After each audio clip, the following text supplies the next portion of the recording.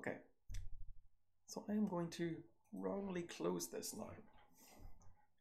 So now we have our region, if we're reasonably happy with the detection, H to turn these on or off, H for hide that is.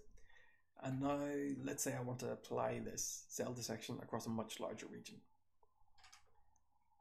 What I can do is I can just press backspace then. I'll delete this. I don't need it anymore.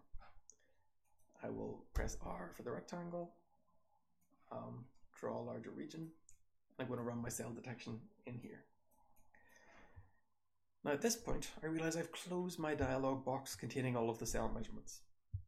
I can press Ctrl and L, positive cell detection, but this is actually taking me back to the defaults.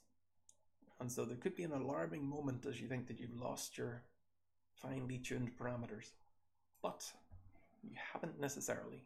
What we can do is we can go to this workflow tab and each time we ran the cell detection, it's logged what we did, it's logged the parameters that we used. And you can see there's quite a lot of times running it there. But if I just go to the very end of the list, then this will be the most recent ones that I ran.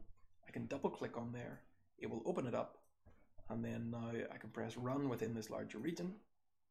QuPath will divide it into smaller parts and then apply the cell detection. It should be fairly fast here because I have a fairly high pixel size and you may want to lower that if you want to maximize the accuracy as much as possible, but it will take substantially longer. And these parameters should look familiar as being the ones that we'd optimized in towards the end.